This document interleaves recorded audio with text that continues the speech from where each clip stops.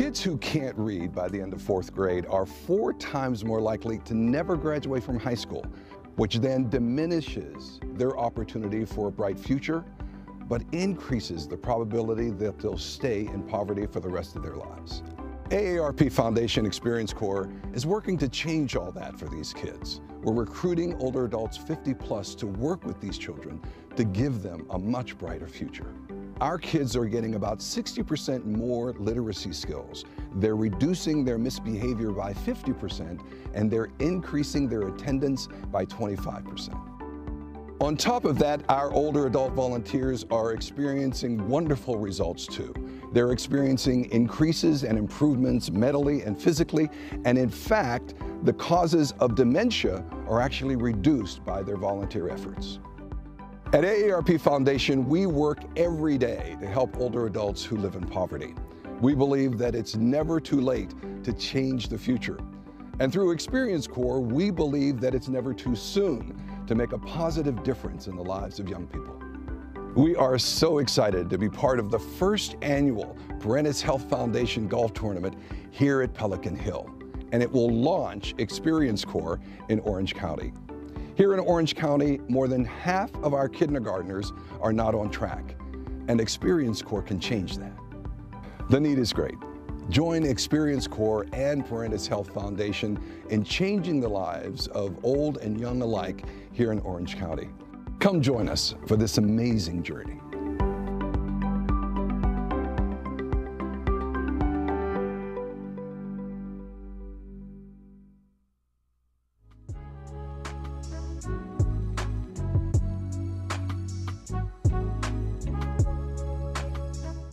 Well, you just saw that piece uh, from Parentis Health about the Parentis Foundation and the Experience Corps Orange County, how they work with AARP in helping uh, kids, particularly in reading, and how they connect seniors with kids to mentor and tutor them. I'd like to welcome today a couple folks from Parentis Foundation, uh, Janice Franchette Ardinger, mm -hmm. right? And also Karen Bance. Welcome, both Thank of you. you. Nice to have you here today.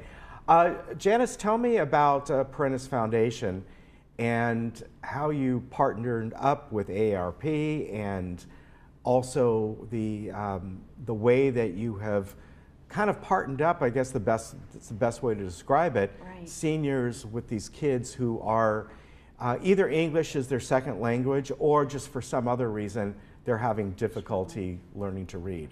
So thank you. we, um, as Parentis Health Senior Agent Senior Care Company, we look to provide a opportunity for retired adults mm -hmm. to get back into the community right. in a meaningful way.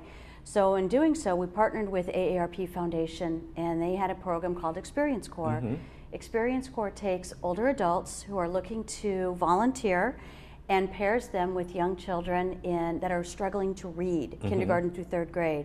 And we pair the adult tutors with these children and after school youth organizations like Boys and Girls Clubs, and they work with the kids one on one for an entire school year. Wow. So not only do they help the children learn to read, they create a meaningful bond yeah. with the kids. So how do you find these kids? Is it through the Boys and Girls Clubs? So this last year, the Boys and Girls Clubs um, identify the children that they already work with on a day-to-day -day basis. Okay. And there's also sending schools that provide that, that the kids come from that make recommendations if the child is sometimes two years behind in reading, okay. up to a half a year behind. And we take them into our program. Okay, and I saw, at least on that piece there, the Boys and Girls Club of, of San Juan.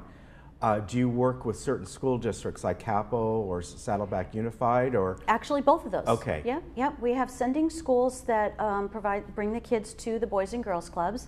Uh, for example, at Saddleback, San Joaquin Elementary School sure. is, is one of the schools okay. that we take the majority of our children from. And over 85% of those children are not reading at grade level. Yeah. So we really become an adjunct to the school system and help them as an intervention program. Very good. Now, Karen, how did you get involved with this? Are you one of the volunteers? Or are you on their board? I have a great story. Uh, Janice and I have been on the board of directors for the Boys and Girls Clubs of Capistrano Valley several years, and that's how we know each other. She became aware early 2016 of the reading program, mm -hmm. and she thought of me immediately because she also chairs our gala, and I'm in charge of uh, picking up silent auction items. Okay. Most people don't want to do. Yeah. and she was wise enough that she thought I would be a good uh, recruitment, volunteer recruitment specialist since I have a sales background of 25 years. And it's the best gig I've ever had. I'm enjoying it so much. Uh, not only wa- watching the kids with the interact and bond with the tutors, but I'm in charge of recruiting older adults, which is what I am too, and I'm enjoying it a lot. And last year I was proud that we had 50 tutors, including substitutes. Wow. So- and that's one of the reasons you're on here today because there are folks that uh, can be watching right now that think, you know what, this is something that I'd like to do. And I, I guess one of the questions I would have is do they need to have a teaching background or just the desire to? They do not need a teaching credential. We have uh, all walks of life. Okay. And we have uh, CPAs and Okay. engineers and sales reps of medical devices. And one very interesting lady is a, uh, a writer, professional writer. Oh, and okay. she's uh, sold a lot of books and on a lot of best-selling lists. Yeah. Now, she reached a point where she had to get out of her cave, as she says. and she's an introvert and would spend, if she didn't have anything to do, she'd spend every day parked in front of her computer. Yeah. So she felt that health wise, she had to get out. And she read about our program and she joined us, and we're so glad she did, and she's returning. Very good. Uh-huh. Now, Janice, how do you match folks up? Is that, you know, you kind of want to match personalities maybe? How do you go about that? It's you know it's a, it's a, it's amazing the way it just sort of evolves when we recruit the volunteers. We put them through 25 hours of pre-service training. Okay. And they train on our 30-minute reading session. It's very structured, and volunteers love that. They love to know that, that it's a Right, predictable yeah. experience every time they work with the kids.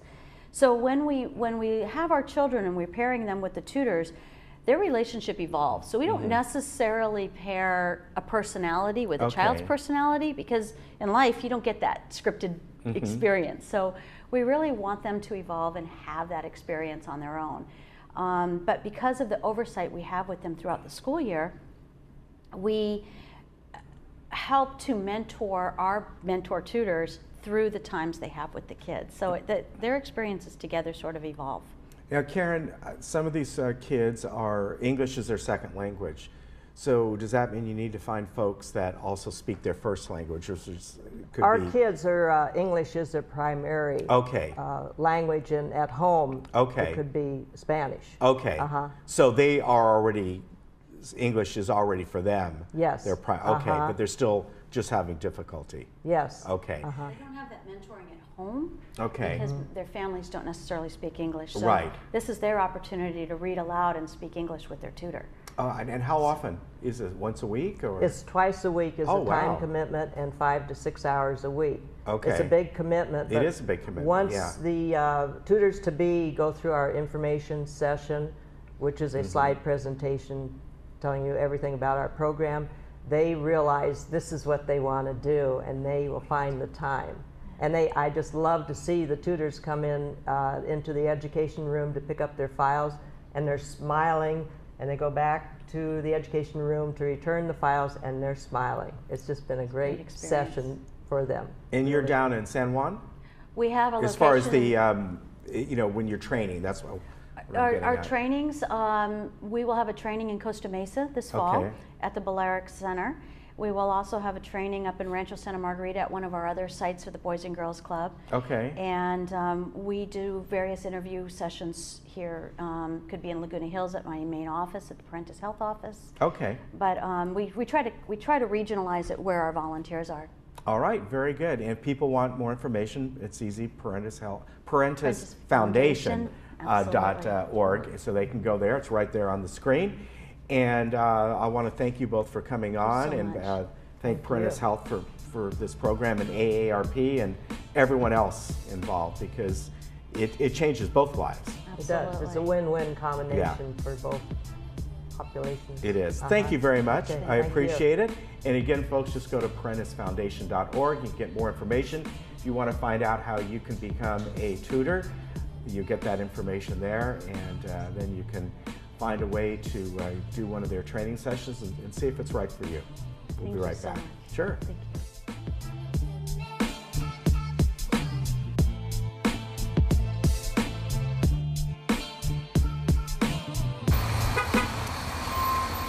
Hi, my name is Samantha, and I'm eight years old.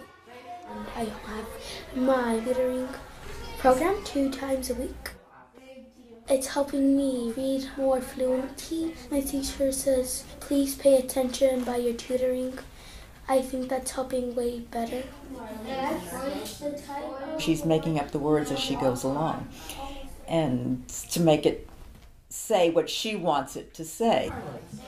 The Experience Corps program is based on concept of pairing older adults with young children in a mentor and literacy role. When we look at the children and we assess who's, who is, um, would benefit from the program, we also look at the children who spend most of their days speaking in their native language, and it's usually not English. My mom gave me her Spanish book. She says, ya te voy a poner para leer en inglés.